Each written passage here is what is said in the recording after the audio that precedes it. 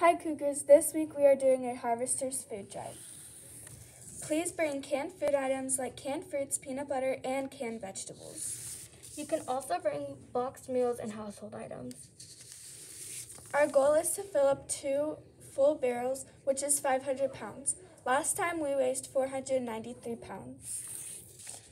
Each morning this week, place your donations in your classroom grocery sack. The grade level that do- donates the most items will win movie time in the gym. Remember, the food drive is November 15th through 19th.